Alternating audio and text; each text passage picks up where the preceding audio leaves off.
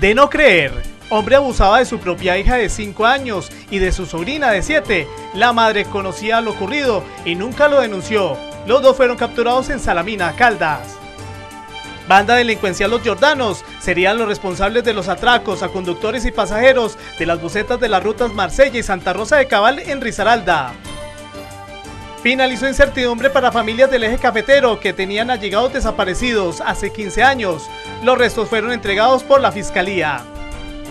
Mal estado en semáforos en dos quebradas, en especial en los campestres y calle 50, estarían generando peligro en esas vías. Por negocio y no por necesidad, indígenas estarían pidiendo limosna en las calles de Pereira, así lo informó la Secretaría de Desarrollo Social de la ciudad.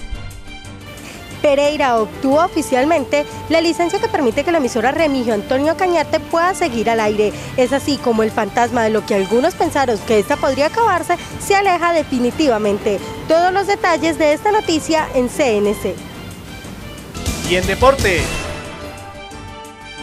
Esperen nuestra emisión de hoy los detalles de la delegación de Risaralda que va a los Juegos Superate en el Valle del Cauca y que recibió de manos del gobernador la bandera del departamento.